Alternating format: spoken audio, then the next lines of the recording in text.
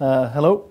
So, thank you so much for coming over and taking the time out to come to listen to uh, Unity. This presentation is all about how you can actually create games eh, for uh, Windows, Windows Surface, uh, the Windows uh, Phone 8. And here's like a little example. Uh, that's uh, the character is uh, inspired after me, of course.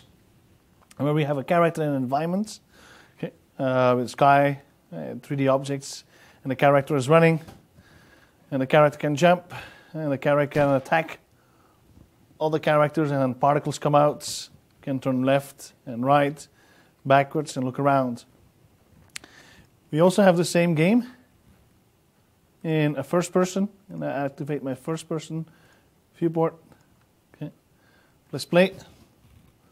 And then I can play this game. Oh, see, I have two times. Okay, hold on a second. Just in a that's my mobile version. Okay. Display. And then we can play this game. So first we're going to start with the first person. And then from there we take it for the Surface and the iPhone, uh, for the uh, Windows uh, Phone 8. And then uh, build it to uh, uh, make it for third person. Okay. So first I'm going to start here with a little PowerPoint presentation. Okay. To explain a little bit who we are as a company and uh, what is Unity actually? This, the, the software. Okay. Uh, as I said before, okay, I'm just gonna go here. Start here. As before, I'm Karel Callewaert, a product evangelist at Unity. Uh, you can always uh, feel free to contact me. And it's here my Twitter and my email. If you have more technical questions, feel free to reach out. I'm showing this picture because this is our almost our full team who's dedicated to this hard to this uh, software to Unity to make that uh, the game engine for you to use it. Uh, our Japan team is not there. we have now 14 offices around the world. And we have here an office actually in San Francisco. And also tonight, also Corey Johnson is here, uh, who is one of our field engineers. Uh, if you have very technical questions, he's uh, more than happy to help you out. We have Matt Finney. If you want to talk more about licensing, he's also available for you. Okay.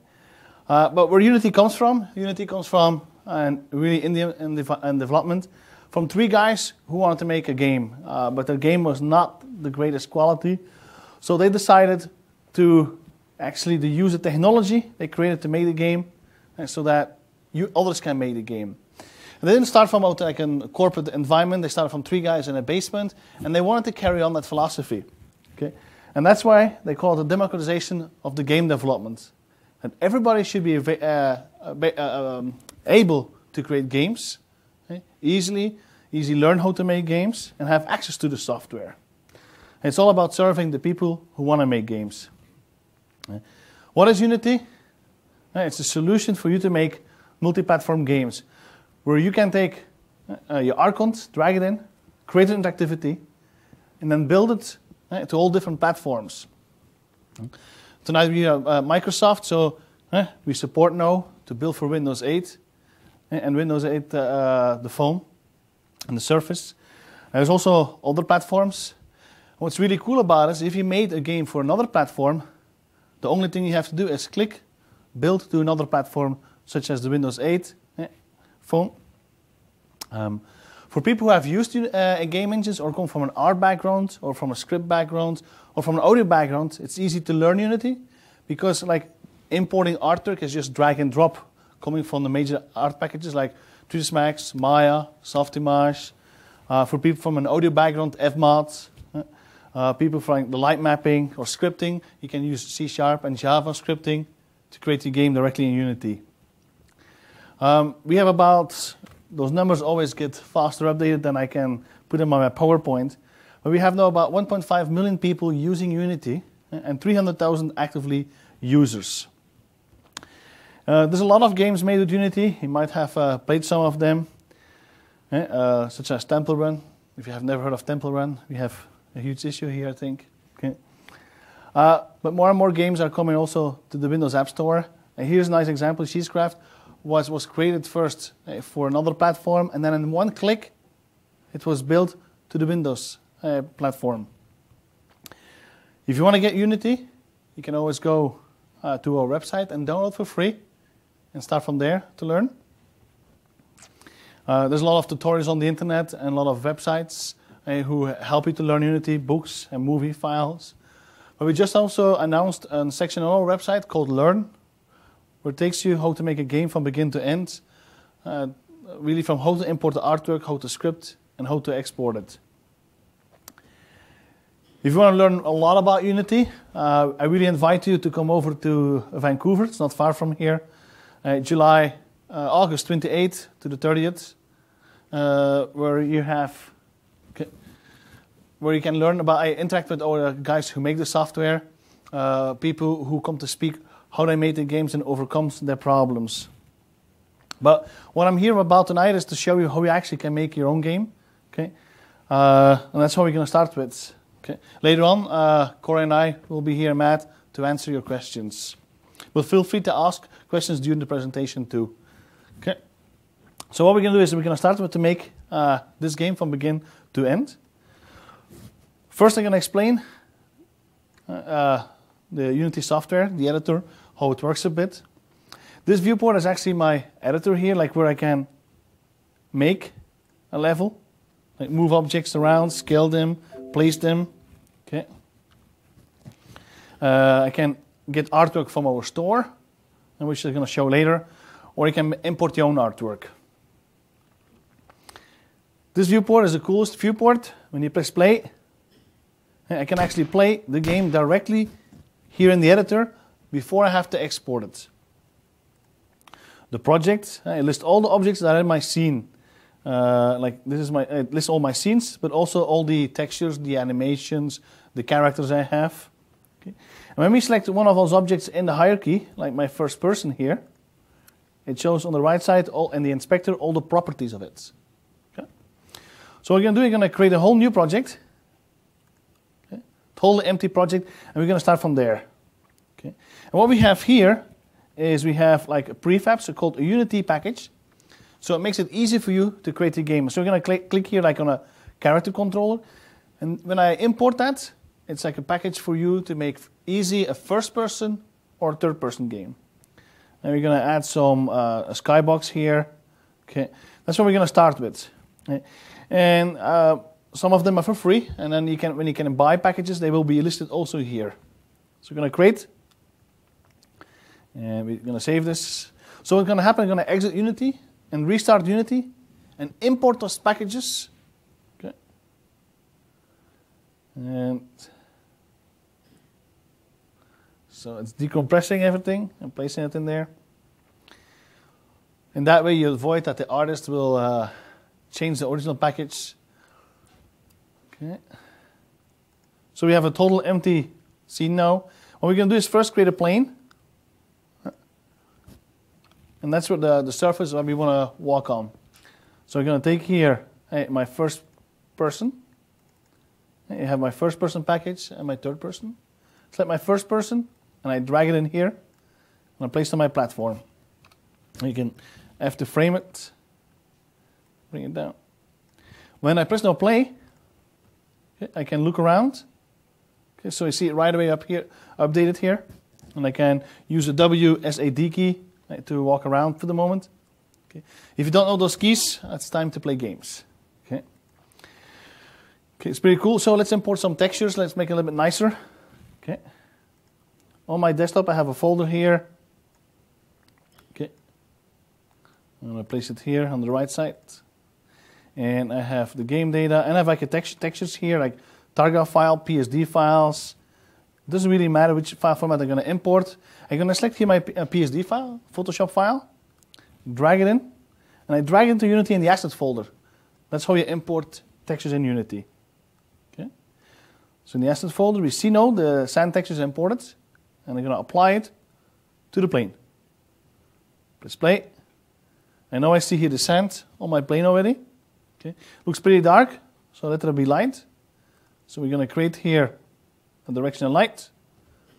And we have here, uh, for people who come from a 3D background and art background, or photography, directional light, point light, spotlights, and area light if you bake it. Okay, so I can walk around. Okay, and we have like simple objects like prefabs, like a cube, a sphere, a cylinder. If you want to start to like uh, make simple uh, uh, blocks to carve out the game. Okay, but you can also import artwork. Okay, and I have here some artwork that comes from uh, 3ds Max or, or Softimage. Doesn't matter. So F- export as an FBX. And you're going to import the artwork you saw before. So first thing we have to do is import the textures. And I'm going to select here uh, the platform texture, it was a Targa file. And I drag it in here in my assets folder. Okay. And then we import the FBX. And FBX is a standard file format that comes from 3D packages. So we're going to select here the platform and drag it in. So we see the uh, object now here. When you import first the texture, then it automatically connects the texture to the 3D model. When I select here the 3D model, drag and drop the 3D model in my scene now, and I don't see it. I stop my production and I blame everybody else. But what you do, I press here F to frame it, and I see it's very tiny. The reason why I show you that is because I want you to be able to do it when you come home. When you drag and drop ArcContinent and you see don't see it, it could be because it's so small. Okay? Because there's different scaling factors between different software packages. So the platform here, I'm going to change the scale factor to 1. And press apply. And now we have a huge platform here. Okay, bring it up. And I can delete that cube. I don't need it anymore. Okay. I'm going to scale here the platform, the plane. And I'll take my first person and I'm going to place it on top of the platform. Okay. Just like we saw in the game before. Press play, and I fall through it. Again, I blame everybody else because it's not my fault. So what we have to do is we have to create a collider for that object so we don't fall through it. Okay. How do you do that? Well, we're going to add a component to that object, physics. We're going to add a collider. We can do a box collider or a mesh collider. A mesh collider will take the exact same shape. But for performance, we're going to take a box. And we're going to take here, first person, place a little bit up. And no, press play. And now I can look around here. I'm standing on my platform already. Okay, I can jump, jump off it. Woohoo! So what we want to do is we want to create those walls. So we're going to import those uh, walls. So again, I'm going to import my texture. And I'm going to select here the wall. Drag it in. And now I'm going to import the FBX. My wall here I have. Drag it in. I select my wall and I don't see the texture. Hey, but Carl, you told me first import the texture and then the model, and you should see the texture connected to it. Well, the reason is the artist renamed the texture before he gave it to me. So just want to show you that, be aware of that. Okay, so you can select the wall here and scroll down, and then you can take that texture and drag it on it. So how you can uh, re reconnect it. Select the wall, and I drag it in here my scene, bring it up. Okay, maximize it. Okay, to bring it a little bit back. And we're going to duplicate it. Okay. Now I want to snap it nicely to it so that there's like, like no, no, opening or it's not overlapping. How do you do that? You press the uh, V button from frame, click on this, and then you can snap it nicely to where you want to snap it. You're going to snap it to this corner. Okay. You can multi-select in Unity, duplicate this, Okay, and there we have it. Snap it again. Okay.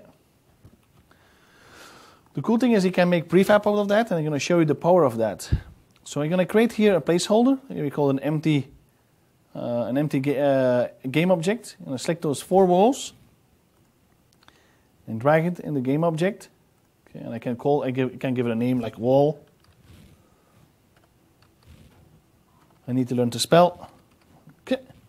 I'm going to take that wall and I'm going to drag it out of my assets folder. And that becomes now a, um, a prefab. I'm going to show you very soon the power. So drag it in again here. Okay, I'm going to move it up. Okay, I'm going to frame it and I'm going to rotate it. Okay, we can snap this also if you want. Okay. Oh. Okay, I'm going to move it. And hold on the V button. Okay, you can move. I'm gonna move it here like really fast. Okay. Well, now my artist director comes in and says, well, the walls, all the walls should be a little bit uh, taller. Okay. You don't want to go to each wall, scale it. You don't want to select them all. Uh, you don't want to go to all the different scenes. Just select your wall here, like you're going to select the walls, and scale them. And then I say, update this to all my walls. See, and that's the power of having prefabs. The cool thing is that prefabs, you can right click on it and export as a package. So you can reuse it in other projects or share it to the community or even sell it the to the community. Okay? So what I did, I went ahead and I duplicated more walls and I added some bridges. So I had a huge level and I export as a prefab and I'm going to re-import that prefab node here. So I'm going to delete that wall here and the LOD. And assets, we're going to import a custom package to my desktop. And there we have it, the game data and uh, prefabs. And we're going to import this. So you see the importing all the textures and the FBX files. Any questions uh, for now? Okay. So we imported here the level. Okay, the level. And I drag it here in my scene. Okay. And I'm going to press play. And now I can walk around here in my level. Okay. I'm going to add a beautiful sky to it. Okay. So in the edit render settings, skybox. And what we see is here all our different materials. We see a sunny sky, Eh, we see the Sonoma sky, and then we see here the sky from San Francisco. So we're going to select the Sonoma sky, press play. So it basically, basically cubes around our scene with the skybox texture on it. The lights, let's add some shadows to that. You can do hard shadows, soft shadows. Okay. And we can change the intensity of the light. Okay. And okay, so that's where we start. So now press play, and here you can see how fast actually we create our uh, game level uh, for our scene. Okay, let's add some uh, more interactivity to it. Like let's add a gun to that. And, and the first person gun, you've seen it before, so we're going to import that now. So we're going to go to the textures again.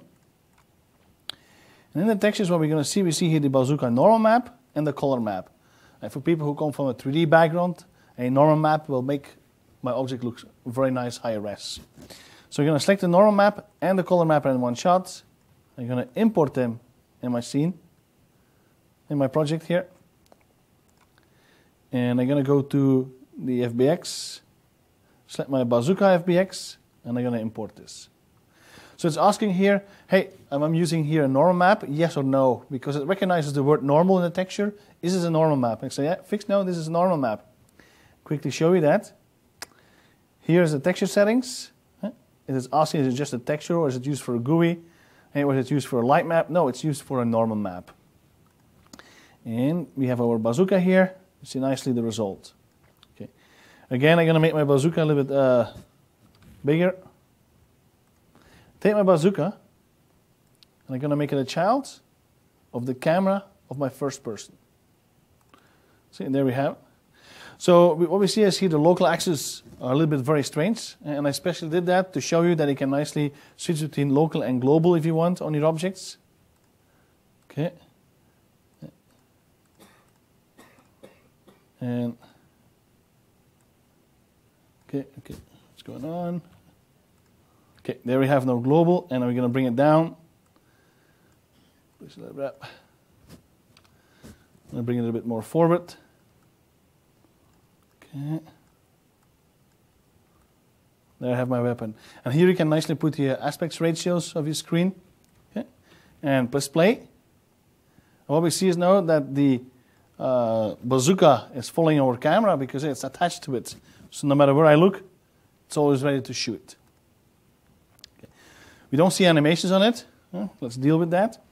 In our software package, we made an animation on it. We made a shoot animation, an idle animation on it. And when I go to my bazooka here, my rig, I'm going to put that to legacy. Uh, we have no different uh, settings here, and later on it will become more clear what is what I mean with generic and humanoid. You're gonna put it to legacy, apply, and we have here the animation, the total length from 0, 1 to 80. And what we're gonna do is we're gonna we made an animation in Maya from frame 1 to frame 60, who's an idle animation. Okay, and we're gonna call it idle. Okay, and we have another animation and we're going to call it uh, shoot. Okay. This one should be idle.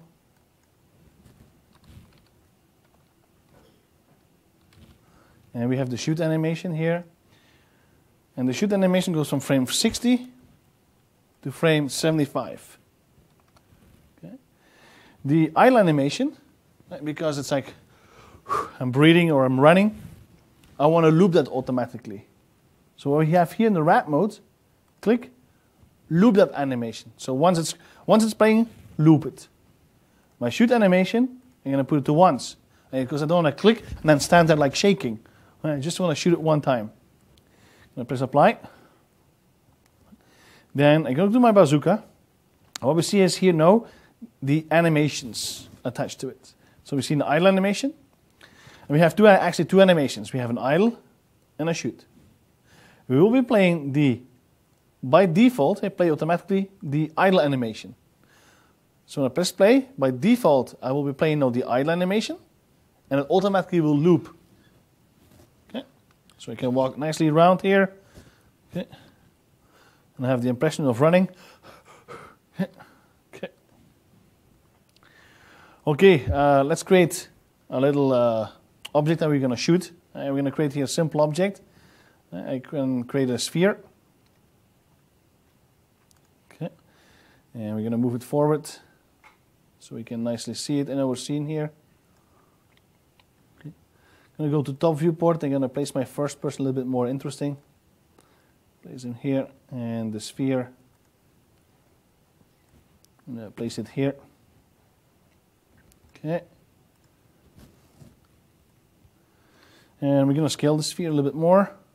Okay, let's create a material for it. So create material. And we can change the color maybe to red more or more yellow color too. Okay. We're going to apply the yellow material to the sphere. And there it is. So we have the sphere now, and we see the material applied to it. Okay. Uh, let's add some physics to it. So later on when I shoot it, it falls down. So we're going to create uh, add a component, physics, rigid body. Okay, when I press play, what we see is now that the sphere will nicely fall down. So when later on when we shoot it, it will fall down because of the physics. Okay. What we want is also that when we shoot it, the sphere flies, and then after a few seconds it disappears. We don't need to see it anymore. Okay. We're going to do that through scripting. So we're going to create. I can use uh, Java scripting or C Sharp here. Okay, it doesn't really matter. Okay. And what have we have function start, function update. I'm going to destroy. Okay. So function start for the, uh, who from you is a programmer here in the, in the, okay. Who's more an artist? Okay. Okay. So with function start uh, means uh, on the first frame. Okay. When the script becomes in the scene, the first frame, I uh, read this function Function update is every frame. Okay, so then destroy. What going to destroy? An object, a game object. An object in my game. And let's say after five seconds. Okay. And we're going to save this. And I take the script and apply it to the sphere. So what we see is nicely component based. We see the rigid body attached to it. Uh, uh, we see the script attached to it. Uh, we see the material attached to it. So when I press no play, sphere falls, and if you can count until five, I hope everybody, eh, the sphere will be gone. It also takes it out of the hierarchy, so it takes it out of the memory. So the sphere here, okay, uh, press play, and we see it gone. But the problem here in this case is that the artists and the programmers cannot really work together. If the artist wants to change it, the designer wants to change to seven seconds, he has to rely on the programmer. So that doesn't work good. Eh, if the artist calls at 5 o'clock in the morning to the programmer, hey, how do you change that? they're not all too happy. Okay. So Unity says let's make sure that the artist and the programmer can work together. So what I can do is let's create a slider here so that the artist can really define and tune, fine tune. So we're going to edit the script here. Okay. And then number five, I'm going to replace it by, let's say, BLT, the bullet lifetime. Okay. And we're going to create a variable. Bullet lifetime is a float. Let's say from five seconds. Okay. Save this. So the moment you type in float, it becomes a slider. If you type in a game object, a drop-down menu of all the objects you have in your scene. Okay. So what we see is here now a slider. So we nicely can adjust this. And if we want to say 8 seconds, my sphere will now stay there for 8 seconds. Okay, so let's create now the interactivity. When I click my mouse, I will duplicate, uh, duplicate and instantiate that sphere, put it in front of my gun, and shoot it forward. So first what I'm going to do is a locator, uh, uh make a visible location where I'm going to instantiate that sphere in front of my weapon. Going to go to my bazooka, going to create an empty game object, and we're going to look here from the right viewport, I'm going to place it here in front of my weapon. Okay, top viewport. And I'm going to make it a child of my bazooka. So I'm going to call this the spawning point here. Spawning point. Okay. This is the bazooka selected here. And I make that spawning point a child of that. Okay. So when I press play, you see it always following. Okay. Let's put it to local mode. Press play so you can see that the z-axis is always looking forward. That's the direction we're going to shoot our sphere in. The problem is when I don't have it selected, it's pretty hard to see in my scene. Okay. What can I do for that? Select it and create a button for it. Okay. So the cool thing is, even when you don't have a nothing selected, you click on the button, and you have it directly selected in the hierarchy. You don't have to look in the hierarchy to find it. Okay? So because we use those exposed parameters here, like in the uh, in the destroy script, eh, when we have a slider, we can easily also start to reuse scripts from other projects and adjust the values from there. So we're going to import here a script. I have a script here, shoot. Okay. Take the shoot script, I'm going to bring it in, drag it in. And first I'm going to show it from an artist's viewpoint and then show it from a programmer's viewpoint. So the artist gets the script shoot and he asks me, hey, how do I work with that? Well, apply to the spawning point and you will see from there. So I take the shoot script and I drag it to the spawning point. Okay. And right away we can see here the exposed parameters. What's your bullet prefab? Ah, okay, that's sphere. Okay, what's your shoot force? A slider. An audio clip. Oh, I need an audio clip. So I'm going to import an audio clip here. So I'm going to go to my audio files like sound effects and have here a rifle sound. Okay. So just drag and drop the audio file directly here in the assets. Okay. So we have it here. We can look at it, listen to it. Okay. And we're going to take that audio file and drag it hey, on my uh, and uh, selecting my spawning point. Hey. Oh. Uh, hopefully.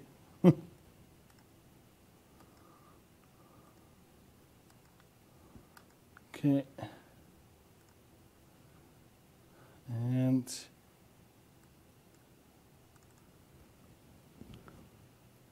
uh, Okay, we're going to quickly have to make the scene here. Okay, I'm to go to my game level. My level, drag it in here. And I'm to go to my assets, standard assets, my character controller, my first person, place it in here. Going to create my light. Okay. And my first person has the weapon. I'm going to take here the uh, bazooka, drag it on my camera. Okay. And bring it down to the front. And I save my scene now. You guys know, we slot machines with him today because he had projection issues. But still, it is. I'm not trying to Okay. jump into it, so. I I mean, I, I, I- actually, my question is, can I, I want to do it on, uh, Windows seven. So I want to maybe kick off the line there, you know, Windows seven. And, uh, so everyone else can kick off. So I'm going to just create here my script to it, my empty game object. Okay, placed in front. And I'm going to make it a child of my bazooka. Okay, and add the script to it. Shoot. Okay. And there we're back. Okay. And okay, my bullet prefab. I'm going to create here my uh, bullet here, sphere. And move it forward. I'm going to scale it. And uh, we're going to add the script to it that we created for it. Okay, and we're going to be shooting that uh, bullet here soon. Hit the sphere. I'm going to add some physics to it too. Okay, add component physics which is the body and sphere. And I'm gonna just do start from here now. Press play. And we're gonna put make sure that our first person is on standing on top. And save this. Display. Okay. So now we have our scene here where we can shoot uh, the sphere. Okay. Uh, there's one problem. Is when I press play here, and we're actually instantiating that sphere here. So after eight seconds, eh, that sphere is gone. Now I cannot duplicate that sphere anymore. Okay. So the problem is that this sphere has a script of destroying it. So when you destroy that sphere, you cannot instantiate it anymore. So we're going to do, we're going to take that sphere and we're going to take it out of the game like a prefab. We can remove that one in the scene here. Okay. So the moment it's out of the scene, the script is not running anymore on it. So I will be duplicating. I'm going to go here to my main camera, bazooka. Uh, need the button for it. We will be duplicating the sphere, the bullet, from out of the uh, pro- project. So the script is not running on it. When you duplicate it, it becomes in the scene, and then the script is right active on it. So now I can shoot for all my life eh, the sphere around in the scene here. Okay. And uh, so we have done this. So the next step is to create an enemy that will be shooting. Okay. Let's import here in our uh, scene what we have here. It's going to go back here to my script uh, to my textures. Or here I have a robot here. So we're going to import the FBX and the and the uh, textures. So we're going to select here the textures and select the FBX and, and one shot. Okay. So when you have the FBX and the textures selected, and when you import that in one shot, it will automatically detect the order. So it's going to first import the textures and then the FBX. Okay. So we have the uh, robot here now in our scene. Okay. So we're going to import that robot in my scene. Okay. And I'm going to select the robot and I drag it in here. Press play. Uh, again, we can scale up that robot a little bit. Going to go here to the robot and the project itself. And we go to the model, put to 7, and apply. I'm going to take the robot, and I'm going to go here to top viewport. My first person, I'm going to move it backwards. And my robot here, I'm going to uh, uh, face my first person, rotate it. Okay. So when I press play here and I go to that robot, eh, hey you, hasta la vista, eh, I go through it. Okay, I want to collide with him. Okay, well, it's really simple. We're going to select that robot here. We're going to add a component, physics, and we can this time use a capsule controller. I'm going to bring it over up and scale this. Okay. So now when I press play and I go to the uh, robot here, I hit him already. See? Okay. What we can do is now create a script. The moment that robot is hit, we destroy that robot. So I'm going to go here to my scripts again. Okay, and I go here. Um, we're going to go to scripts. And we have a script bullet hit. Drag it in my scene here. Okay. You have the bullet hit. And this time it's a function collider, uh, collision enter. So the moment there's a collision, okay, destroy the game object, destroy the robot, destroy the object that collides with it. And later on we're going to talk about the score and instantiate an explosion. So we're going to take that script and I'm going to drag it here on my uh, robot. Press play. And I go to my robot here. Hey you. And the robot is gone. Next thing we have to do is uh, create some particles for it. Okay, so when we hit it. Okay. So how we can create particles? I'm going to save my scene here. I'm going to create here. Uh, yes?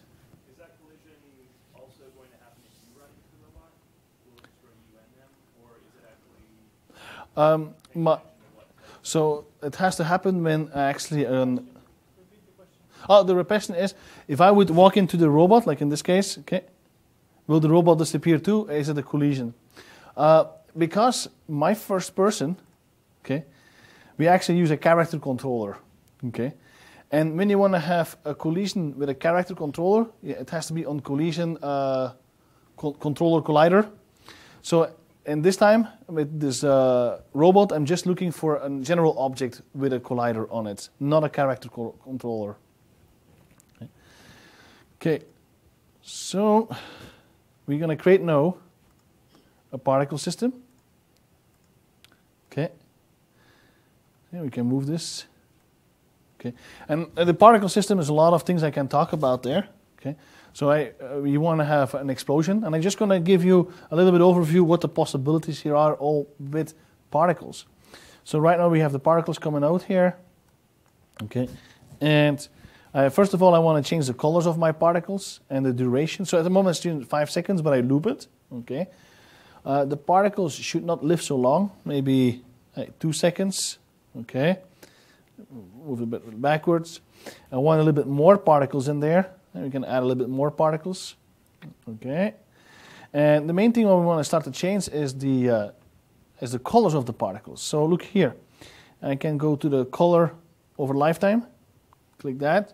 And my particles, when they start, hey, they should be maybe uh, more red. Okay. A little bit later on, hey, they should be more yellow, my particles. Okay, and nice uh, yellow here. Okay. We do that. Okay, and then we can say here the particle should be dark. Okay. So there we start to see more like, like a flame coming out.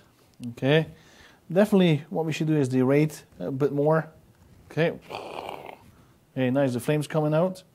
Okay. And then I can say about to create a little bit more uh, different. Hey, the shape first of all, we have uh, the radius. Hey, like just here from the, coming out that character. And then you can do the angle changing there. Okay.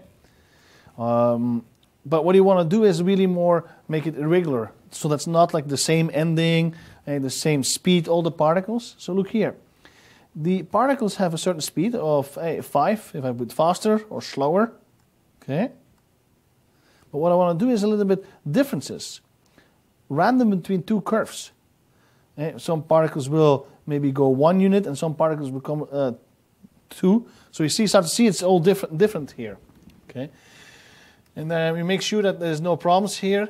Uh, like we can then change the render, and then we can say uh, first the search mode, uh, sort mode. Like the oldest particles are always rendered first, so we don't have any any problems here in the rendering. Okay. And then we can say the duration of our particles also should be a little bit different. So if I go here to the duration, uh, no, the uh, life. So at the moment it's 2. Let's change that also. Random between values. Maybe some particles live 1 and some particles live 2. So you start to see it's different. Okay, we don't want the particles disappear. We want to nicely start to fade them off. So we can go here too. Right, eh, we can uh, the call over lifetime again. On the end here, what we're going to do is the alpha, we're going to fade them out. Eh, so nicely, they're going to start to fade here. Eh?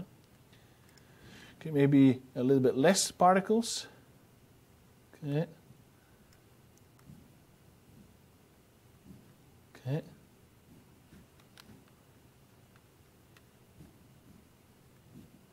Okay, so in game, eh, stop. If I press play, we see nicely the particles coming out. See? So we could use that particle, and we can keep on working on it. We can add a little bit like uh, effects to it of uh, pieces falling out. Okay, like uh, there's a lot you can do in that, but uh, uh, give me a full overview of particles takes me like a good two hours. What I'm gonna do? I'm gonna go to our store and buy from there directly some nice particles effects that have been finished. So I'm gonna go to our asset store. Okay.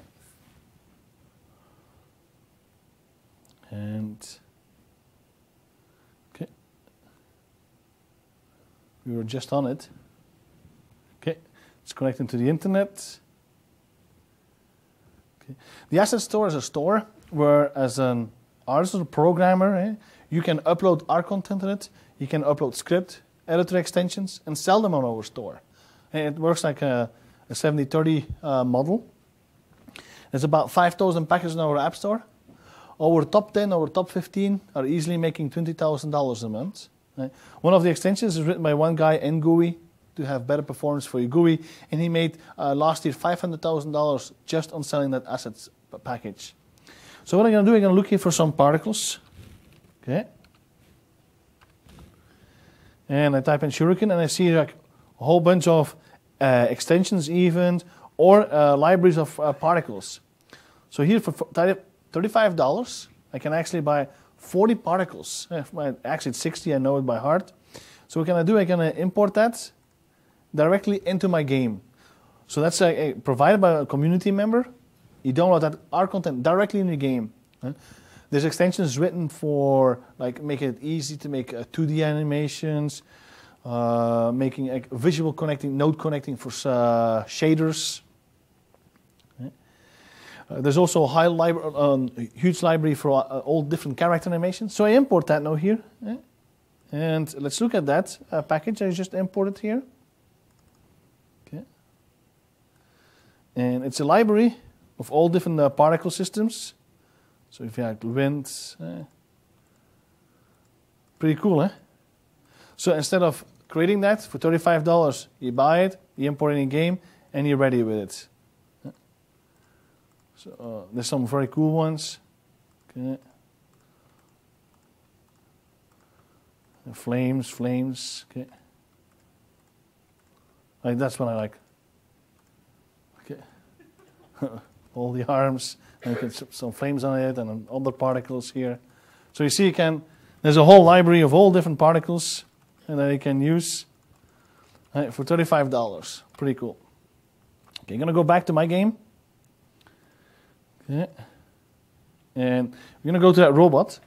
And so I'm going to take one of those particles from that effect, eh, like uh, say the ritual effect. We're to take the pentagram ritual and I'm to drag and drop in it. Press play. And then we can, I need to learn to shoot. Okay, I should make them go faster. Okay. Okay. Okay. And then we say the particle system and when I hit, the particle system comes out of it. Okay, and take my first person here. Okay, and also we're going to activate here the, the bazooka on it, so we see the animation playing. So idle here, when I shoot, I have the, wow, good shot. Uh, I can shoot it directly. Okay. Also, we can actually put here like in uh, a crosshair on it. So what I'm going to do, I'm going to go here to one of my textures. Okay. And we're going to go to textures and have an aim texture here and uh, drag and drop it in my scene. Okay. And aim here. It's actually a crosshair with an alpha channel in it. So we're going to convert that texture has a GUI. Uh, wait a second. okay. I had to sneeze almost. So I'm gonna uh, uh, texture, and there we have it. You can see it on the screen here now. We can change the color of it.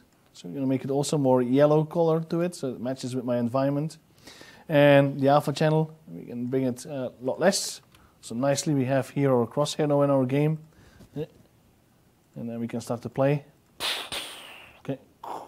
We can change the position of the crosshair a little bit more to the right and rotate the weapon, but it's not necessary for this example. Okay. So the next step is that we want that uh, robot actually comes to attack me. Okay. So what we're going to do for that is create a nav mesh. Okay. So uh, define where our robot can all walk.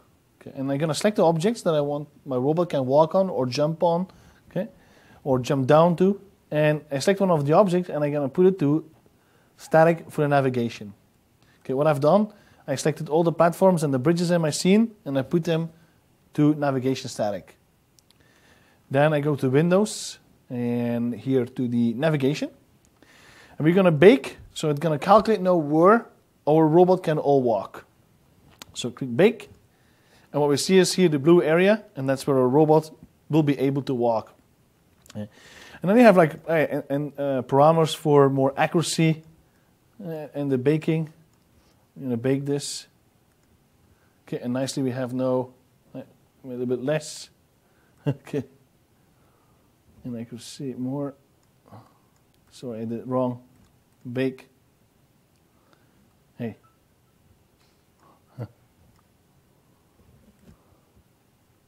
Uh, the inaccuracy. Okay. Okay, yeah. So we got it back here almost. Okay. What we want to do is make sure that the robot belongs to that nav mesh. So I'm going to select here my robot and I'm going to add a component, a navigation agent. So it's an agent from a nav mesh. It belongs to it. So now we can use strong APIs to make sure that as a robot will like try to find me.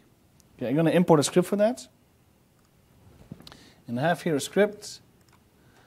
Um, the game data scripts. And we're going to take here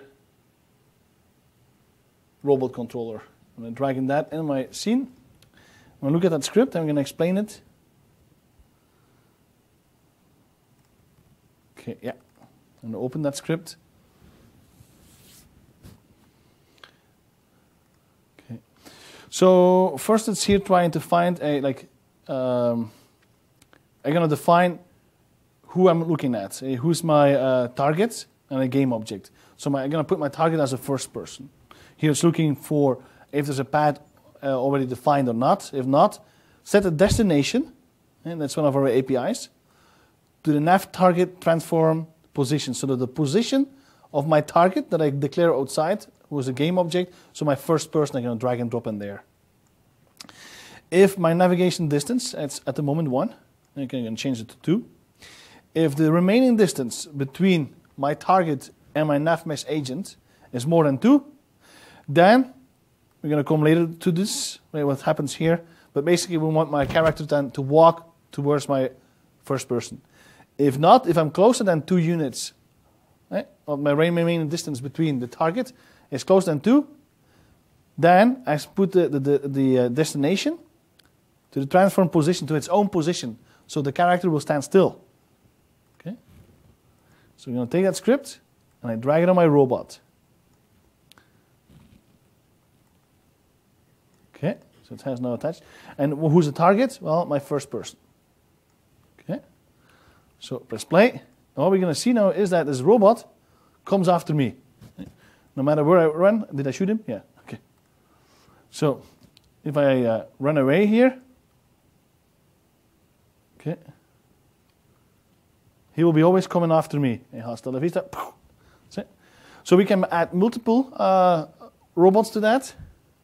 Okay, and they will also ni nicely uh, avoid each other. Okay, so I'm going to show you here. I'm going to take you some of those uh, robots, place them, uh, place a few more. Okay, in my scene. Press play. And nicely, see, they uh, start all to come after me. Uh, run here a little bit. And they see nicely, can all shoot them. They're there. Okay. So you see it's easy to create nav uh, mesh target and use strong APIs to make sure that the objects come after you. And on our website, there's more examples of avoiding each other uh, with doors, things like that. Okay.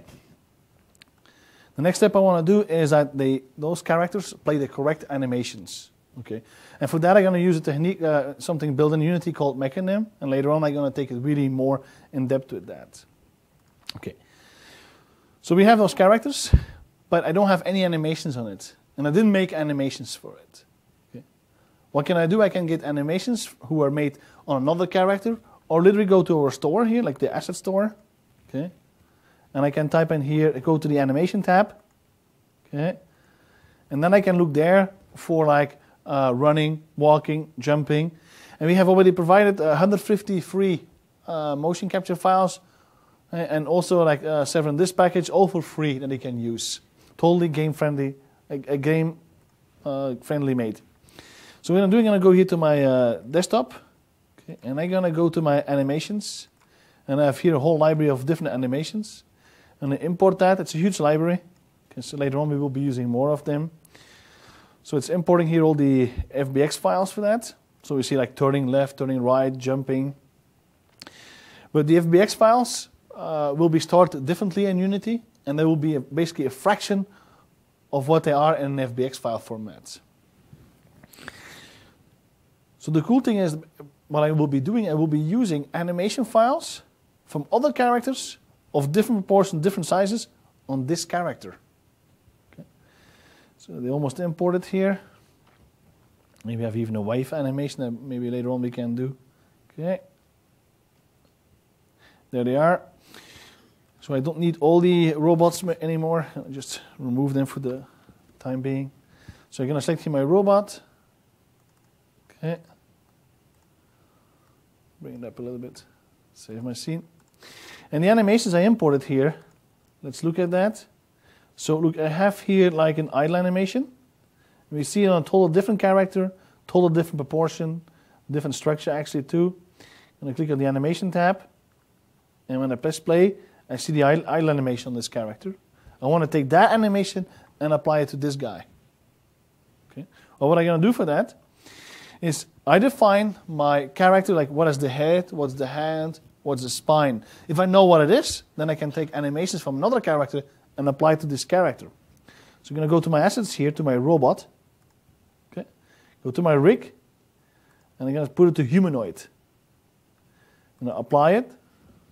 Okay. So what happens actually in the background, I'm going to show you here. Uh, it places my character in a T-pose, and it tries to find, hey, what's the hip, what's the spine, what's the shoulder. It tries to find it automatically for you. I read all the information about how they did it, but it was too complex for me to understand it. They look at the naming convention, but then they look at a whole different structures also. So press done. Now I know understand exactly what's the head, what's the arm, so I can take the animations from another character. So we see here the robot has now a new component attached to it called animator. You see the controller here, okay? And we're going to create something to control the animation. We're going to do it visually. So we're going to create an animation controller. Double click on that, it's empty. Okay. I'm going to take the animation idle I have here. Okay. Drag and drop that in here. So this is my idle animation. Go back to my scene, to my robot, and I'm going to take here, click my animation controller. So to control my animations, we're going to apply this to this robot now. Remember that animation is coming from a total different character. When I press no play, what we see is here we see the idle animation. Let's go to the robot here for a second. Okay. And I'm gonna hey, turn off the nav mesh for the moment. Play. See, and now we see nicely that idle animation, that same animation, applied to this robot. Okay. Um, we want to be able that our robot also walks. So we're going to go to idle uh, here in our animation viewport. back to animations. And we have here a run animation. Let's use running. So look, let's look at run animations. Let's play. And I have here a run animation. Okay. Uh, who from you has ever worked with motion capture? Okay. So the cool thing is that actually when you look at this character, this is actually a raw mocap file. But it looks perfectly game friendly. My character is running in the correct direction, no up and downs, and nicely cyclable. Okay. Let me show you the raw mocap file. Okay. Press play. What we see is here, uh, you see the animation. You see it's drifting over time because it's not running in a perfect line.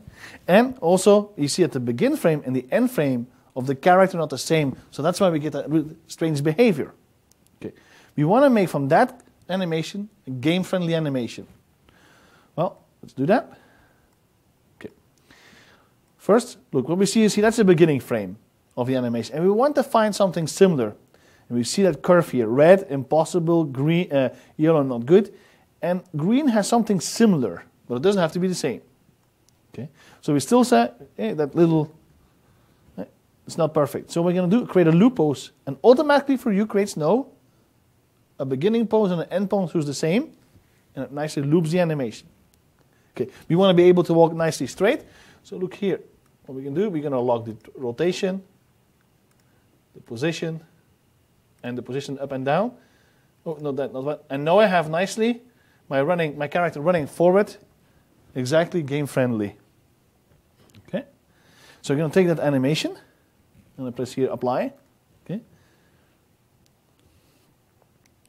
And okay, apply. I'm going to take that run animation now and drag it in here. Okay. And we can go from idle to run and from run to idle. Okay. Later on, we're going to see that more in depth here, what we all do here. And, okay. So let's look back at our robot here. And we activate the nav mesh and the robot controller script. Okay. In the robot controller script, I said the moment that the remaining distance eh, is more than 2, we're going to do something here strange here. So we set the position, of course, eh, to the target, so we go to it. But I'm going to change. I'm going to go to the avatar viewport and set the value of speed to 1. Well, the avatar viewport is actually my animated viewport. And I'm going to set the value of speed to 2. Okay, I'm going to create no floating value speed. Okay. What I can do. When will I go from idle to run? Well, actually, when the speed is higher than 0.1.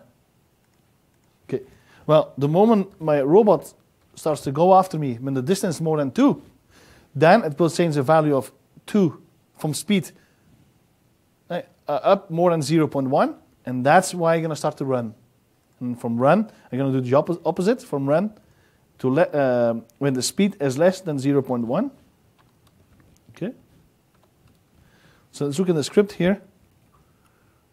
Okay, uh, in my robot here, and its script. See, the moment that the remaining distance is more than 2, set the value of speed uh, to, uh, to 1. So the moment it's more than 0.1, it will start to run my character. Okay, so press play. And you see the character run, and we can shoot him. Okay. So that's how you easily can control. Hey, you can go easy to our library, grab animations, drag and drop on a character without you have to create it all from scratch. Okay, this is pretty cool. We have this game now, in first person, but we want to optimize it. Uh, because yeah, artists will put in all the polygons in there, uh, all the light effects in there, but you want to be able to shoot it. It runs really nicely on mobile devices. Okay, So there's a few things we can do for that. Uh, first of all, we can uh, use occlusion culling. Okay? Occlusion culling is the fact that I will only calculate what I actually see. So here's my first person, and it's my camera here. Okay? But if I look to the right here, okay, by default, Unity is using uh, frustum culling, so I calculate everything what's in the camera viewport. I will be also calculating this area that I actually don't see, but it's in my camera viewport. Okay. What I want, I want to only calculate and only see I only calculate what I see. So what we're going to do for that is go to here to a tab called Windows Occlusion Culling. And I'm going to show you what's actually happened with that. I kind of do here my stats here, and I press play. Okay, we have about 136 draw calls here, so we're going to try to bring that down. Okay, so Windows Occlusion Culling, okay, and we have a tolerant mesh. Actually, I can create my own uh, mesh for that. Okay, and I'm going to put the cell size to a bit bigger. Okay, if you're not familiar with occlusion culling, okay, what will happen is I'm going to click here bake. And it will place my camera in each cell and calculate what can I see in that cell and not, what is hidden for me. Okay, so it calculates pretty fast. Press play. So now when I look around, now you can, it only calculates what it actually sees. Okay. Oh, I'm just falling from the bridge now. But let's look at the draw calls here. Press play. Okay, and so now you see here we have instead of 120 draw calls, we have uh, 50, uh, 56 draw calls. Okay, so we reduced, the, reduced the draw calls with only the half. Okay. Okay, the build settings. At the moment we stand stand alone here. I'm just check here my quality settings. Okay. Okay, and we're gonna go here to my direction light. Okay. Um, at the moment, we have real-time light going on here, but we can do uh, light probes uh, when we do bake. So can, first of all, we can bake light information in our scene by going Windows, Light Mapping, and I dock the window in here. Okay, and we can go to Lights, Bake, and I'm going to put it to low quality. So we're going to bake everything with indirect light and direct shadows. We can all bake it. Okay. And th this is the, the, the, resolution we're going to use. 50 is really high. So I can show you that the resolution here, light map resolution, you can zoom in here. Okay. See, and that's the quality of uh, we're going to bake. So we're going to put it to 5, uh, to a lot less quality, so we can bake much faster.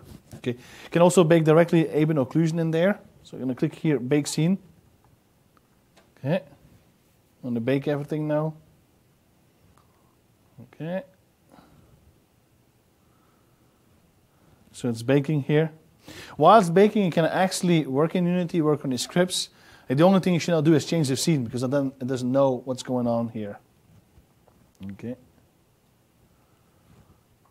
Okay, and the baking is almost done. Takes a bit time. Okay. Baking, and then it is importing the textures, and it imports it as an EXR, so you can actually open it in Photoshop and change the uh, values of the intensity of my scene. Okay. Uh, but another thing that we can do is actually for optimization is level of detail. So if we go further away from an object, okay, like uh, this platform, we can actually swap it with lower res models. Okay. So we're to do for that, I'm going to go to here to my uh, game data, and I actually have lower res models here. It's going to go to the FBX file, okay, and I have here see an LOD 0, 1, and 2. Um, I'm going to take here an LOD 2 in my scene, okay, and LOD 2 here. So we have like a really low res uh, model here. Okay, I'm going to drag it in my scene here. I'm going to place it here. I'm going to place it here.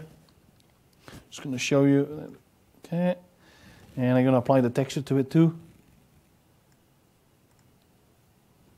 Okay, and then I'm going to take here the uh, high res model of it and place it in here. Okay. Okay, I'm going to place it nicely, same position. Okay. So we have a model who's high res and a model who's low res. Okay. What we want to do is when we go further away, we want to swap the high res model with the low res model. Okay. We're going to create a placeholder for that. And we're going to add and rendering a level of detail group to it. Okay.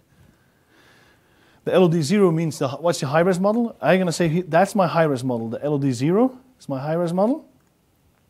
What's your LOD1? I'm going to use the two. I'm not going to do them all here. Okay. So look now. When I close, when I'm close by, I have the high-res. When I go further away, I'm going to swap here. See, it swaps with the low-res model. When I go far away, I go to I go to colored. And you can always easily define when we do the swapping. You can define nicely here when we will swap between the different LODs. The cool thing is you're actually swapping a whole new model, so you can change also the materials. Instead of using expensive material, when you go further away, it's a, it's a low-res material. but even for explosions, if you have explosions like a nice particles system, you can swap it with a texture atlas uh, when the particles comes farther away. Just gonna drink a, a little bit of water here. okay, cool. Well, save my scene.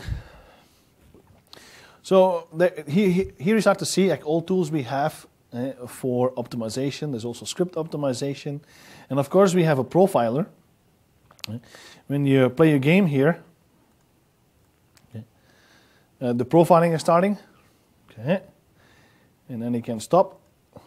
Okay, then you can scroll in there, and we look at the CPU, your GPU, uh, your rendering, your memory. Okay, cool thing is in the memory here, we can actually take a snapshot, and then you can go to assets and uh, look here at the textures, and can right see how much takes in mem- memory. And when you have it selected, it also selects it in your project, so you can see where it actually is located. Okay. And it's really cool, and because of that, you can really look at your bottlenecks and start to uh, tweak your game. Okay. This is really cool what we've done here now. But what we want to do is be able to put it for mobile also, so that have uh, on my uh, on my um, Windows phone that I can uh, have my touch input. How do I do that? Well, when we're gonna create, you could start to script everything, uh, but that's a lot of work. Unity wants to make it easy for you. So we have here a bundle, the asset, uh, standard assets for mobile. So I'm gonna import that. And those are all examples of a side scroller, top-down viewport, um, uh, first person. Okay, you want to look here. So we're going to go here to standard assets for mobile, uh, uh, control setups. Okay, look here we have a relative uh, for third person, first person, side scroller, tab control. And here's my first person setup. Look, and here I recognize the same guy I, I have, but I have here my touch input zones for looking around and walking. It's all set up for you. Those zones here are basically just simple textures, okay?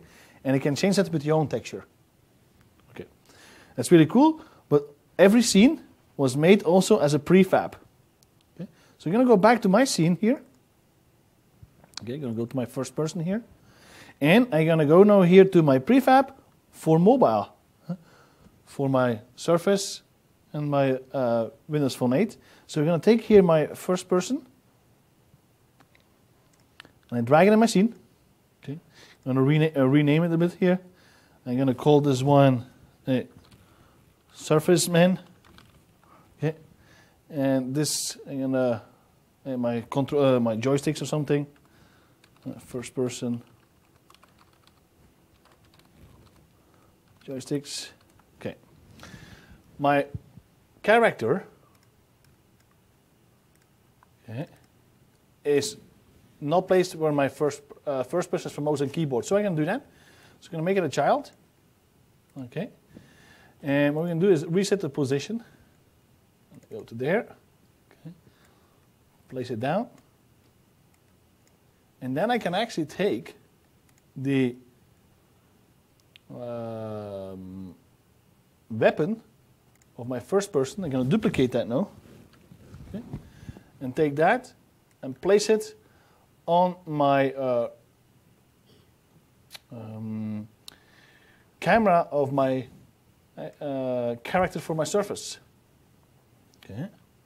So we have this now. And then I can deactivate here my first person for mouse and keyboard. Okay. Press play. And what we see is here, I, I, I press play, and then we have this environment here now. Okay.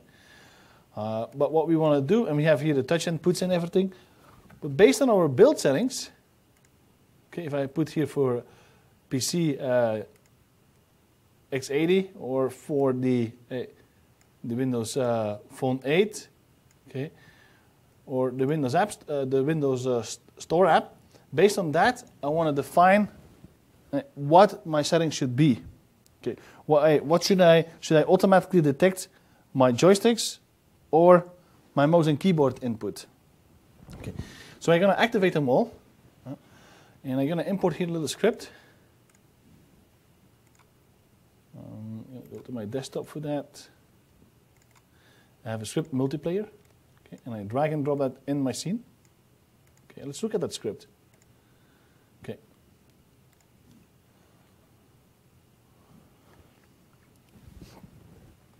Multi multi-platform here. So function awake when the game starts. Uh, check if it's uh, one of the devices here. So if you made a game uh, before that was multi-platform for uh, other uh, other touch inputs, okay, and for the web, the only thing you have to add here is the Unity Metro, Windows uh, Unity Windows 8, automatic text it for you. Okay, so and then I can say set that active and those deactivate. Okay, so I take that script, multi-plat. I'm gonna I'm put it in my scene, so I'm gonna create an empty object, right, and I can call it multi-platform. So the text which platform I'm using, and I drag and drop that script uh, in my in my scene. Okay, where did I put my script here? Drag it in here. Okay. So what's my mobile character? Uh, it's uh, this one. What's my mouse and keyboard character? This one. What's my joysticks? It's this. So when I press no play, okay, I'm set here to Windows 8, and then automatically it knows it that it's mouse and keyboard. Okay.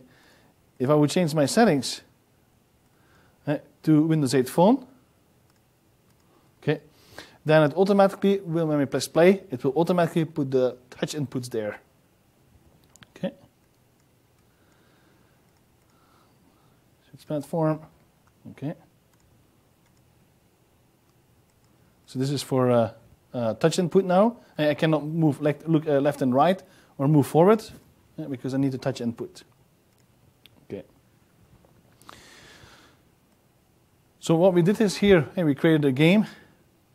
And that is, we created a level, we created interactivity for first person. But now let's look more a little bit at third person, how easy it is to create third person games. Okay. So I'm to go here to my uh, desktop here. Okay. And we're to go to Windows 8.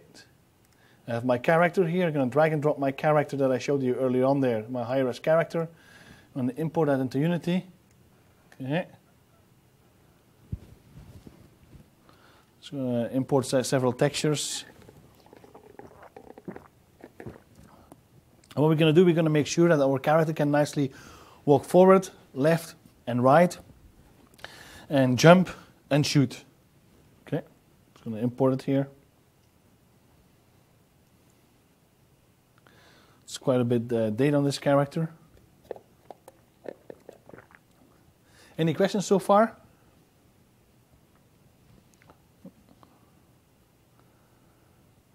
Okay. And there's my character. Open it, I have it here, my character. I'm to apply the texture to it. Okay. Place in my scene. Okay. Select here my character. Okay. And I'm to add a material to it. Okay. And we have here like several textures.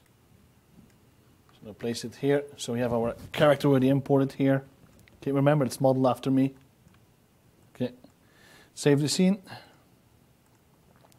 And again, we're going to start really simple. Okay, we're going to create our uh, animation controller for our robot. Okay. Again, we're going to start with the idle animation. So we're going to go to I'm going to import some other animations I have here. So this is really cool. It's from the store I got. Okay. And I have here, okay, drag and drop a whole bunch of animations in it. Okay, they're imported here. We have here an idle animation. I drag it in. Okay. So what we see is here, we see it on a character here. Okay. Uh, the animation. Okay. But you can actually show it nicely on your character now. Like if I would go here.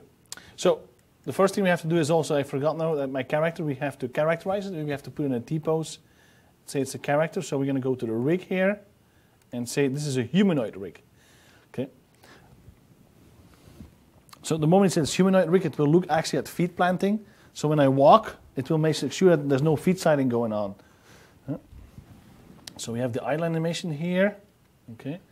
When I go to animations here, uh, like uh, okay here, idle, and I can take no my character actually and drag it in there, press play, and I see that animation on my character, that idle animation. It's not much moving my character here yet, okay?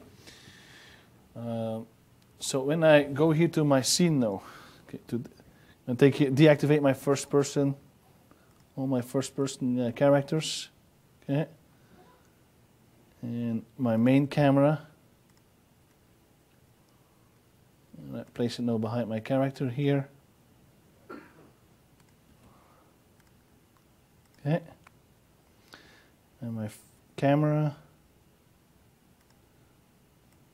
Okay, we're going to look from the side viewport.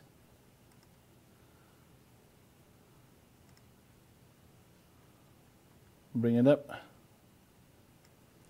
Top viewport. Okay. And we're going to place it here to my character, a little bit to the right. So we can see our character. We can see our. Uh, you never put your first per, a third person camera right behind the character because then you obstruct your view. So you're going to put it more to the right and make it a child of my main camera now. Okay, so I'm going to go back to my. So we see the animator here, and I'm going to attach the animator I was just creating here for our robot. Okay, press play. I don't need my uh, scripts running here for the multiplayer. Okay. My multiplayer here. I don't need to run this.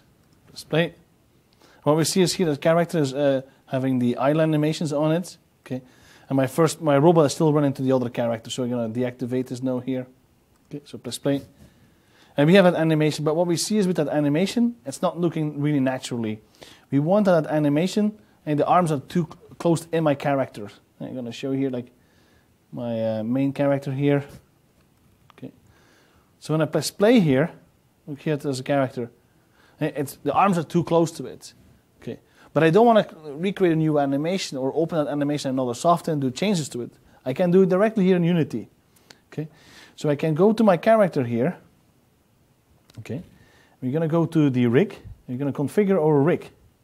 Okay, we're going to go to the muscle space, and that's about how our character, like the, the, the range of motions that my character has. Okay, so like here, my right arm and my left arm. Okay, so this is my uh, arm up and down. See, When we see is here it goes fully in the body. I don't want that. So I'm going to bring that a little bit more to here. And when I go up, maybe a lot bit less. Okay. Same with my right arm. Okay.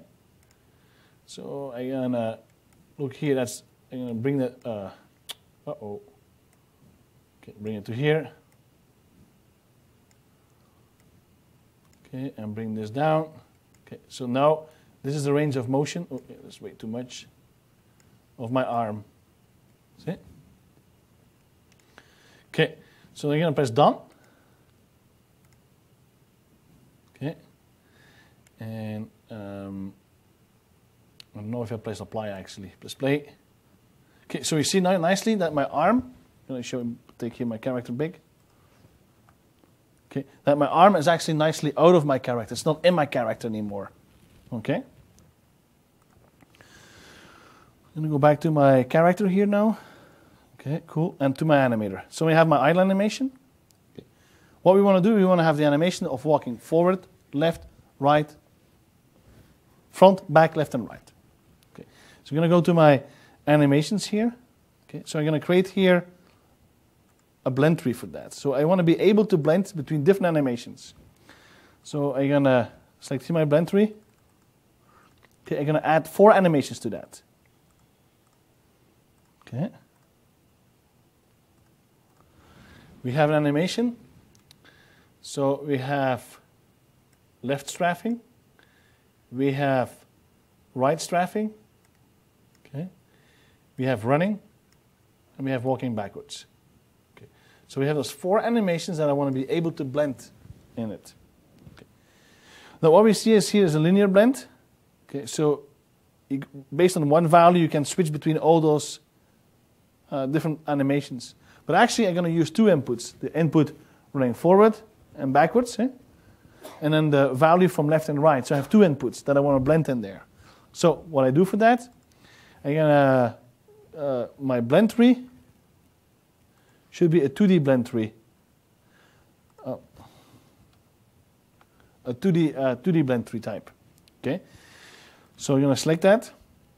And um, okay, the position of the left uh, 1. Okay, left should be minus 1. Okay, like he, this is my, when I have nothing pressed forward, left, or right. Okay, and my right should be uh, 1. Okay, and this should be then uh, walking, running 1. And this was minus 1. Okay, so you see that's the value neutral, forward, left, and right. I will blend those two different animations. Okay, so we nicely can see at the blend tree here, look, Press play. Okay.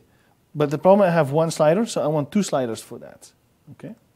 So we're going to add a slider here, a float. Okay.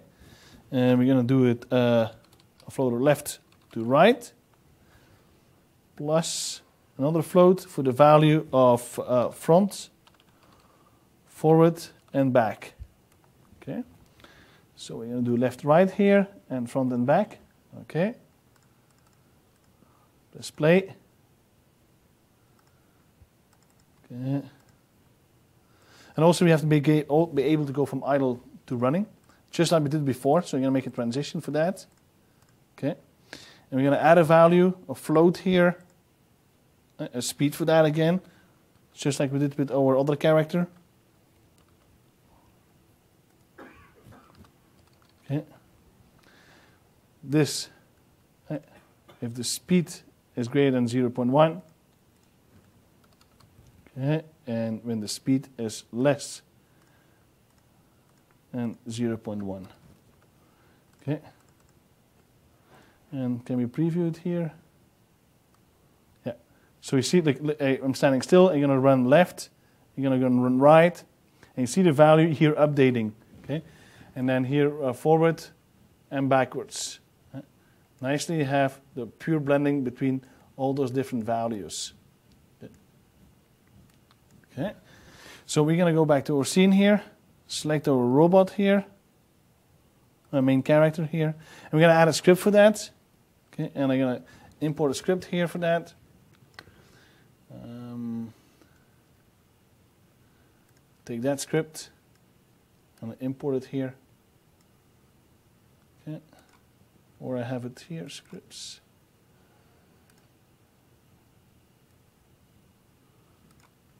Okay, and I look at the script.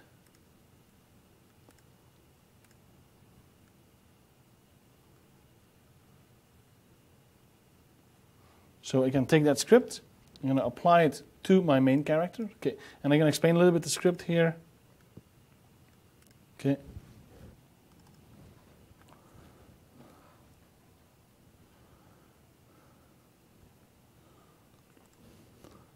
So the value eh, of v from my input uh, vertical, so if I do left to right, it goes from minus 1 to plus 1, and I put that in the value of the animator float of front and backwards, and I, I typed in forward and backwards in my forward and back. And then uh, the H for uh, H is the uh, horizontal, left and right, and vertical is the V. So that value, I'm going to just put it directly in the float of my animated viewport. Okay. And again, the speed, just to see if I'm positive or negative, if I'm running forward, and I'm going to the running state. Save that. Press play. Okay. And now I can run forward, eh, and then we can do backwards. Okay. And that's how you start with your game. And you have the third person. And then you can uh, really continue and continue on that eh, by adding jumps, uh, rolls, falls, and then layered animations also on that. eh. Uh, we, I see we're already on an hour and a half busy here. So what I'm going to do, I'm going to open the project and then uh, explain from there a little bit more. Okay.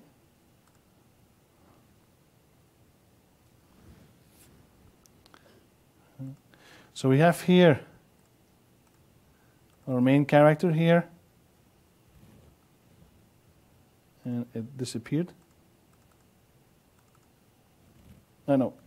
Activated here. Okay. And those we don't need. Okay. Back to the animated viewport of my uh, robot here. Okay. So my run eh, and my idle head here, my different positions here. Okay. And then we have added here the dive animation. eh. Character jumping here.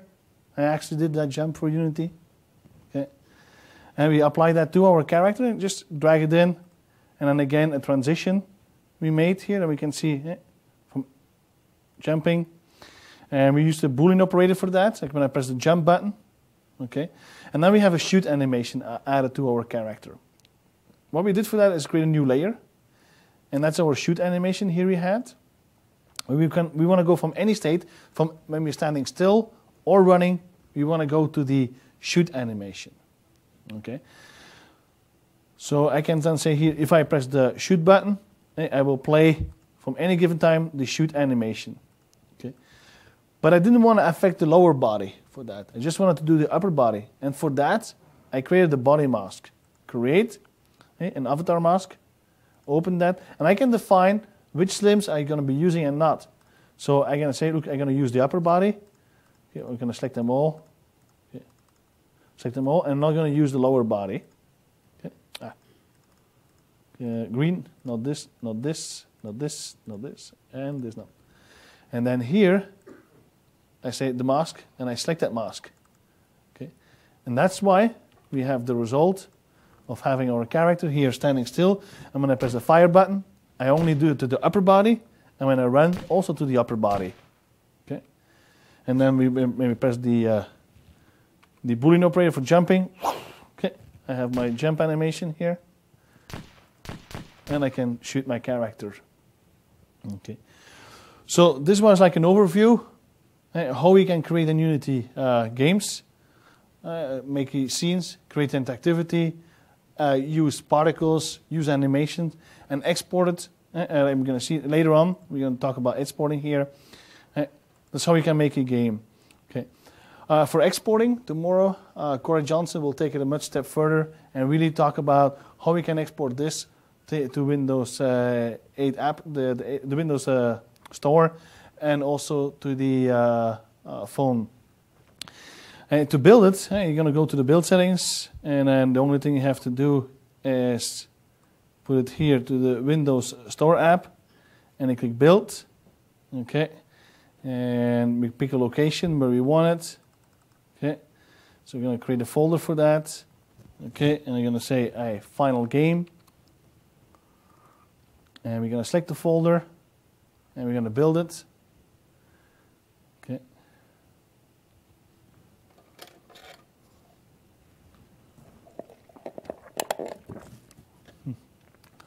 So it's building the game now, and we're going to create a uh, Visual Studio project, and then we can open that and build from there. And that's basically it. So it's a very easy procedure. Okay.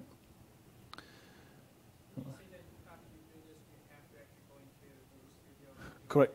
Correct. So still building here. Eh, there's a lot of uh, objects here. Okay, and then we have here. Uh, I should have somewhere the folder where I play. I forget now where I placed it. I hit Final Game, and open it. Okay.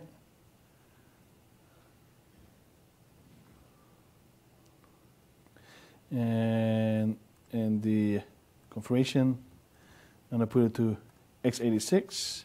Okay, close this. I'm gonna build and run it now.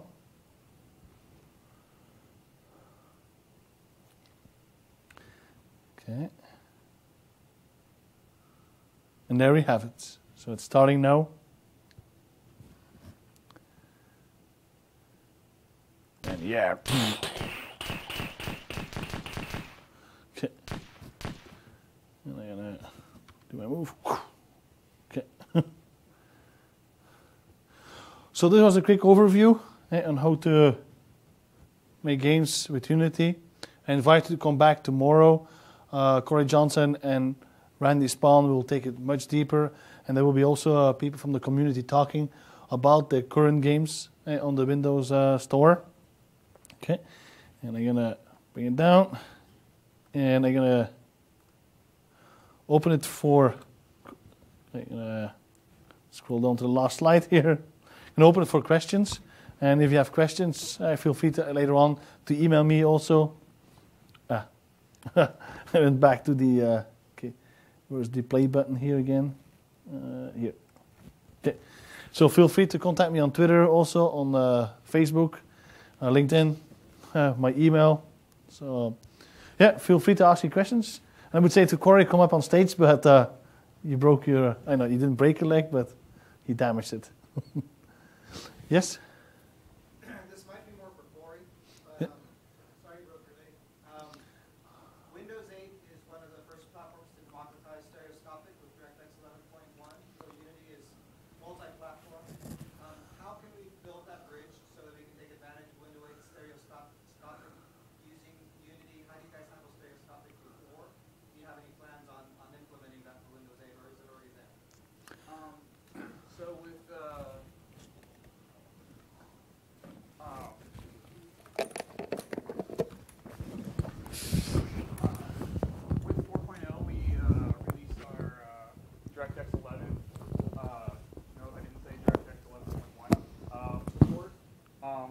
2.1 will be coming online later. I don't have any information about when.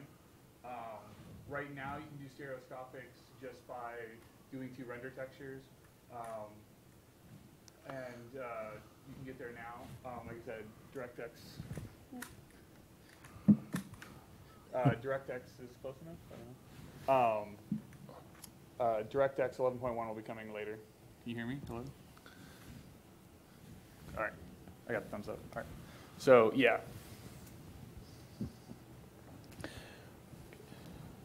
I've done stereoscopic project before with the NVIDIA graphic cards, and that worked out of the box. So Yeah, I- I- The the question, all right, with Windows 8, I think my Surface Pro, just about any plug-in HDMI 1.4 shoots out, right? I mean, you don't have to do much more once you set up your DX render, right? So it- it's very different from how it was even last year, where you needed to have all these specific drivers and all these things with Unity first. I mean, 11.1 is kind of thing. right? So Looking forward to that. yes, Is there a way to print out the output of the code that you generate?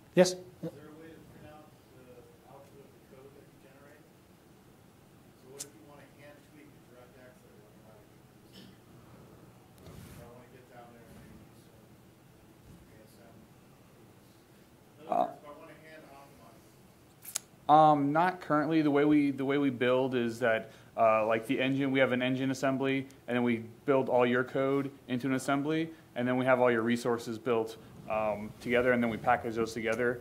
Um, there's a lot you can do in uh, um, what we kind of refer to as a trampoline. So you you get the the solution, and there's a lot in, in the uh, kind of the glue code that does that all together.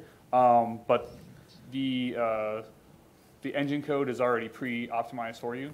Um, yeah, you do have access to all the shaders though. Like all the shaders that we come with are all open source, so you can open them up. Um, and a lot of times you'll want to if you want a very specific effect and you sometimes we'll have like a couple different things going on. If you just want one thing, um, you can just go edit script, um, optimize the shaders there, um, and then put them back into the scene. And uh, you can do a lot of optimizations there. Um, can you mention a couple areas where, as, as a beginner, to stay away from? For example, you mentioned DirectX 11, or 11.1. I'm guessing Unity must have reasons, uh, not going there, or I, I, I just handled it for, for, for 1.2. So can you uh, elaborate why, why not 11.1, why not stereoscopic, you know, what part of you? I, I want to stay away from areas that I, that I just avoid. Um, I would I wouldn't say there's any areas that you need to from from your game or uh, 3D experience that you're trying to scope. I mean, I've seen the full gambit of everything be done. Um, in, the case of DirectX uh, 11.1, it's just that we had started doing DirectX 11 um, and uh, last year and implemented it, and we just haven't uh, gotten back around in, that, in the cycle to to update it. Um, so I wouldn't say it's a complexity thing. Um, I'm trying to think. I mean, I there's nothing I could say from the the standpoint of, you know, I want to do this. Should I not do it because I'm using Unity? Absolutely not. Like, there's a way to do everything you need to do. Um, so I mean, things like you know, if you want to uh, rip out PhysX, which we use for our uh, physics solution, and use Havok or something, that would be uh, really difficult. Um, that's not to say that you can't write your own physics and from code and do it and stuff like that. Um, but I mean, as, as, as a rule, like I wouldn't, I would never tell you you can't do something in Unity, um, and you shouldn't try to do something in Unity. Um, yeah, so. This might be spoiler question for tomorrow, but once you've done the build and you've pushed it out and have a Visual Studio 2012 solution, mm. that solution structure, at a certain point, I can, I can add Xaml elements on top of it, I'm assuming, so I can add Windows. Is there any code interaction I can do from certain classes or whatever? And is that, is that targeted, will that be a C sharp project? Will it be a C with a service render target? Uh, What exactly is the render display in that structure? Um, that is a little bit of a spoiler, but um, you can, uh, when you select a build, you can kind of choose what um, solution you, you want spit, out. Um, and then from there, I mean, there are some features that we, uh, some Windows 8 features that we don't have built in natively to, to Unity and that you will have to do there on like at the Xaml level. Um, we have some examples of how to do that um, uh, on our site somewhere. I'll have to provide the link tomorrow. Uh, but um, yeah. So I'm gonna go here first. Yeah. How do you handle some, let's say, stable, you could say, next month, people can come out with a controller. Mhm. They can, they can detect your fingers. And how can I, do you have any API to, to work with it?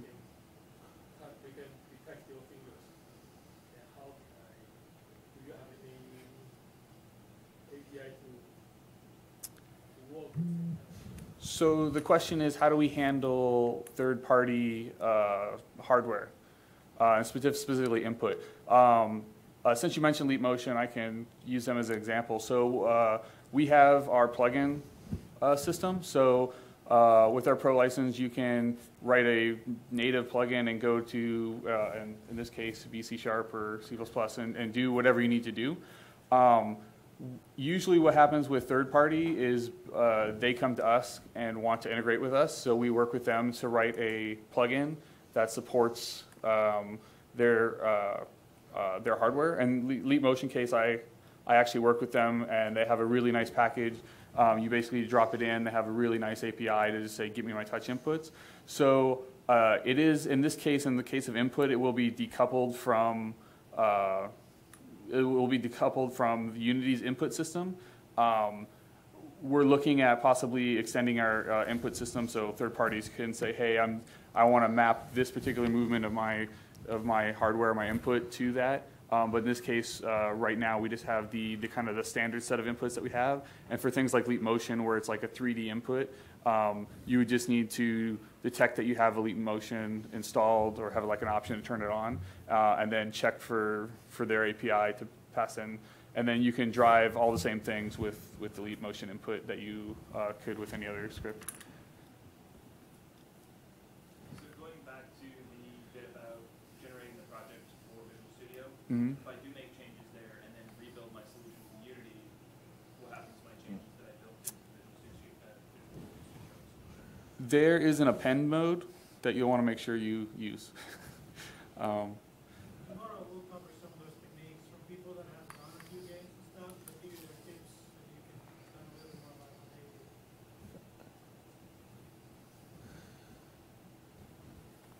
Um, will you provide uh, Windows RT testing devices on Wednesday? The different? So yeah, for the, for on Wednesday, we will have Windows RT devices that's here. Yes. Um, so we can't take them home with No, you. it's- it's But fine. we'll definitely have them here. Yeah. Um, there, there's some out there available, and we'll have more, and if you need to play with one, just come Yeah. to, ask one of the Microsoft guys, and we can get you So one. it's wider range, you, you know, it's, it's, you're different uh, testing devices, yeah? Um, well, so for RT, we only brought surfaces. Okay. Um, we have Surface RT, Surface Pro, we have some other Acers and other Acer devices. Um, on RT, like ARM, I only brought surfaces. Um, we didn't, you guys don't have any view of that, do you? No. Yeah. didn't bring it. Yeah, we just didn't bring it. Windows Phone, that's all. Yeah, we also have Windows Yeah. Phone, lots of phones. Okay, Um, so we have plenty of power for you to test. okay, Um, it's a good testing day, play with the hardware. okay. Like,